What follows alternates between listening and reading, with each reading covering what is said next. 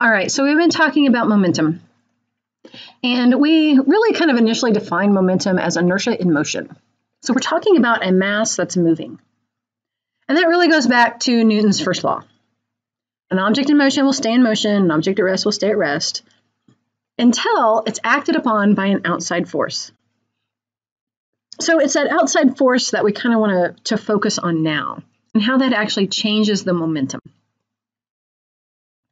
So for example, we've got football. Now if we watch this hit, it's it's a good one, right? So that guy's on the ground. So we have two really big, massive guys, and we they are moving pretty fast, and then they collide. So there is definitely an outside force acting on both of those guys. and what happens is both of their momentums come to zero, right? So they're both in motion. There's an outside force. They come to a stop. So their momentum changes. Now let's look at this one. What's different there? Think about that collision and the first one that we looked at. This one doesn't look near as painful. And why not? When you think about it, that momentum took longer change. Okay, so the force that was applied in the first clip was very quick. It was like hitting a wall. The force that's applied in this particular clip takes a little bit longer. So it's actually taking more time to change that momentum. Okay, so that's what we really want to look at. We want to look at the collision itself and what kind of forces are involved and, and the time that it takes for that momentum to change. Now, when we talk about a change in momentum, the term for that is impulse. Okay, so an impulse means a change in momentum. So when we talk about the impulse applied during a collision, what we mean is what is it that caused the change in momentum? Now, remember in science, we have uh, delta P, right? Delta P is a change in momentum. So remember that little triangle. That triangle stands for a change in. And since it's followed by the symbol for momentum, we're looking at a change in momentum. Now, this is a very specific way to find this, right? Change in always means final minus initial. So when we have the momentum symbol, that P, with no apostrophe, it represents the final momentum. When we have the P with an apostrophe, it represents the initial momentum. So a change in momentum is equal to the final momentum minus the initial momentum. So let's look at an example. We've got a water balloon, pretty big one, half a kilogram water balloon. We're going to throw it against a wall. So the speed that we throw it with is 32 meters per second, and then it's going to come to a stop. So we want to know what is its change in momentum. Well, we know that change in momentum is found by taking the final momentum minus the initial momentum. The problem is we don't know the momentum. In our problem, we're given the mass, the initial velocity and the final velocity, but we aren't given the momentum. So the question becomes, can we find it? Well, yes, we can. See, this is where physics gets really interesting. A lot of times you're given a problem and you know the equation that you need to solve it, but you don't have all of the tools, so you have to go fill in all those blanks. So we know that momentum is equal to the mass times the velocity. So we can find the final momentum. Final momentum is going to be equal to the mass times the final velocity. And since it came to a stop, the final velocity is going to be zero. So the final momentum is going to be zero kilogram meters per second. We can do the same thing with the initial momentum using the initial velocity. We still have a mass of 0.5 kilograms, but it was moving at 32 meters per second.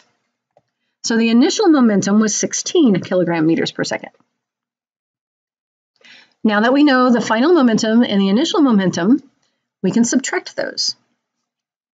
This is where your, your positives and your negatives are going to be really, really important because our final momentum was zero and our initial momentum was positive. So our change in momentum is a negative 16 kilogram meters per second.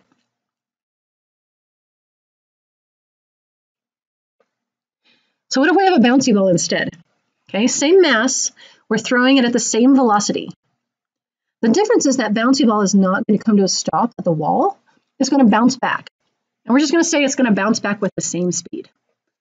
What is its change in momentum? Well, again, change in momentum is final minus initial. And again, we don't know the momentum. We're going to have to go find it. So momentum is still mass times velocity. And our initial momentum, let's just say we are throwing the ball towards the wall. So it is moving to the right. Okay? So we're going to say that it has a positive 32 meters per second as its initial velocity. So when we find our initial momentum, we're going to take one half of a kilogram multiplied by a positive 32 meters per second. That's going to give us a positive 16 kilogram meters per second as our initial momentum. All right, now here's where we got to pay attention because what happens when that ball hits the wall? It's going to bounce back and it's going to be moving in the opposite direction. The opposite direction means that we're going to use the negative sign for our velocity. So our final velocity isn't just 32 meters per second, it's a negative 32 meters per second. So we're going to take that times our half a kilogram, and we're going to find that the final momentum is negative 16 kilogram meters per second. So now that we have our final and our initial momentum, we can find the um, change in momentum. Now again, final minus initial. Final momentum was a negative 16 kilogram meters per second. We are going to subtract our initial momentum, which was a positive 16 kilogram meters per second. So our change in momentum is going to be a negative 32 kilogram meters per second. So we've defined impulse as a change in momentum.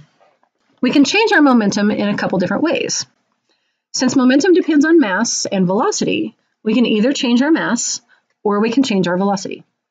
Right Now, typically our mass doesn't change. Uh, we like to keep those constant, so we're going to really just focus on that change in velocity at this point in time. So when do we have a change in velocity?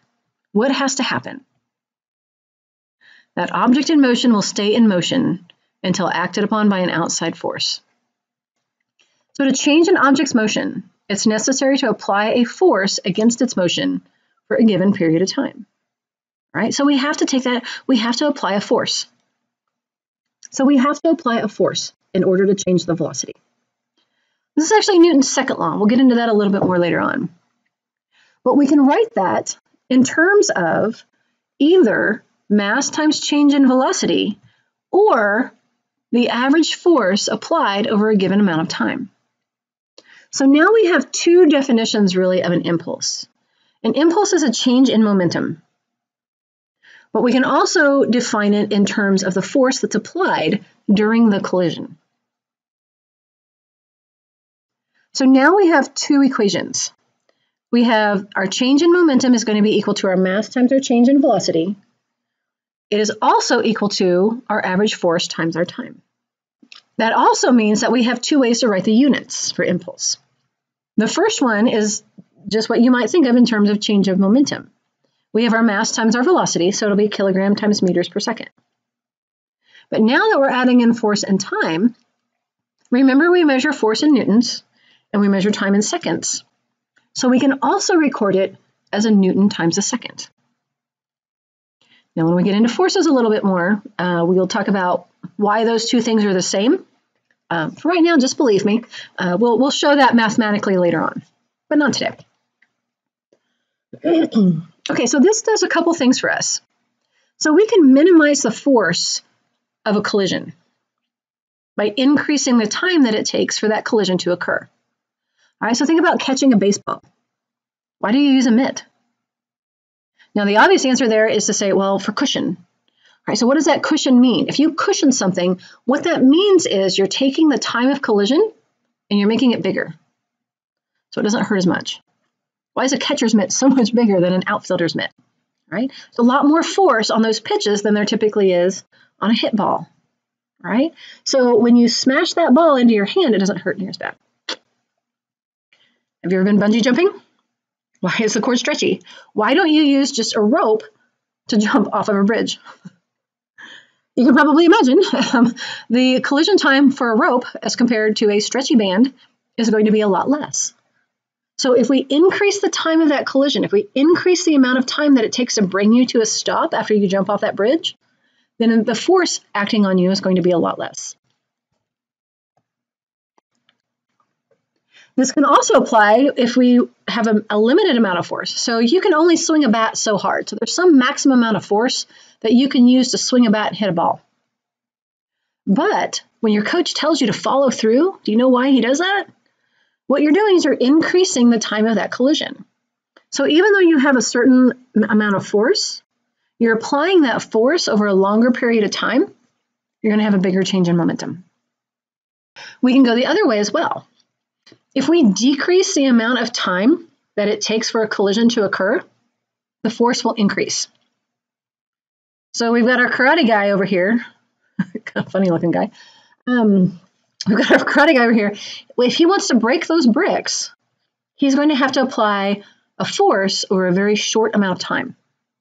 And what that will do is that will apply a larger force than if he were to apply it in over a larger amount of time. Let's say we have our tackled football player who experiences a force of 800 newtons for 0.9 seconds, and we want to determine the impulse. All right, so we know that impulse is delta p, so it's going to be the force multiplied by the time, which is nice because that's what we have. We have 800 newtons, so we have 0.9 seconds. So we're going to take our 800, we're going to multiply it by 0.9, and we're going to find our impulse of 720 newton seconds. So what is this change in momentum? Now think back for a minute because impulse is defined as change in momentum. So the impulse and the change in momentum are going to be the same thing. So we can write our momentum change as 720 kilogram meters per second. So we have a 1.2 kilogram model rocket engine, and it is designed to deliver an impulse of 6 newton seconds. So if the rocket engine burns for 0.75 seconds, what average force does the engine produce? All right, so what do we know there? We are looking for the average force. And the equation that we have average force in is the impulse is going to be equal to the average force times the time. All right, so we're trying to find average force. So to get average force by itself, we're going to divide by time. So we end up with the delta P is going to be divided by time to find the average force which is nice because we know time and we know our impulse. So in order to solve that particular problem, we're just going to take our 6 newton seconds and divide it by 0.75 seconds. And when we get that, we'll have an 8 newton force. So with what velocity would that engine take off? Well, okay, we just found the force, and we know the mass, and we know the impulse, and we know the time. We also know that impulse is equal to the average force times the time. It is also equal to the mass times the change in velocity. So the force times time is equal to the mass times delta V. So we can set those two parts of the equation equal to each other. So the average force times time divided by mass will be equal to the velocity. We do know all of those things. We know the force, the mass, and time. So we just plug those in. We have 8 newtons times 0.75 seconds divided by 1.2 kilograms. And we're going to multiply our 8 by 0.75, divide by 1.2, and we're going to get 5 meters per second.